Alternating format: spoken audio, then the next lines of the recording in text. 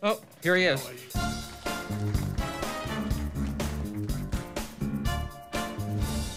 You do know who I am. Buck did the Tonight Show 61 times. You have to say with Johnny Carson, not the nitwit who's on there now. I quit law school determined to do something different with my life, but that still didn't prepare me for my new job with Buck Howard. Troy, you can toss my salad when you get back to the hotel. I don't know what you're doing here.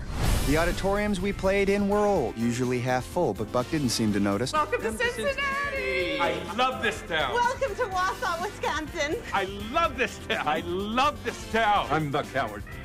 Ow. The minute he came out on stage, he was in his element. Everything he did, he made the impossible seem possible. And your number is 17. Oh my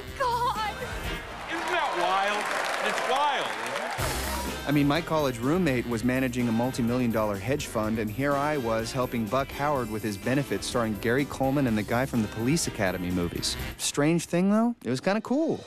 This spring, You've got to quit this job. You can do better. It is over for Buck, and everyone knows it but him. What are you going to do now, kid? I might fail miserably, but I have to at least try. Good luck. comes the story of two men I have a boyfriend. Oh, forget I said it. Looking to make a comeback. We need to get you some attention right now. If they need to see something, I've got something I can show them. It is enormous. The legendary mentalist Buck Howard, best known for his many appearances on The Tonight Show with Johnny Carson, put some 800 people to sleep. Suddenly, Buck was hip.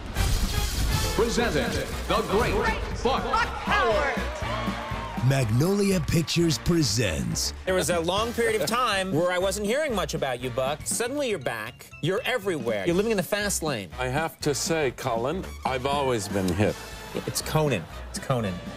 John Malkovich, Colin Hanks, Emily Blunt, with Steve Zahn and Tom Hanks. I would like to dedicate this next song to Sulu from Star Trek. May the Force be in you. The Great Buck Howard. I love this town.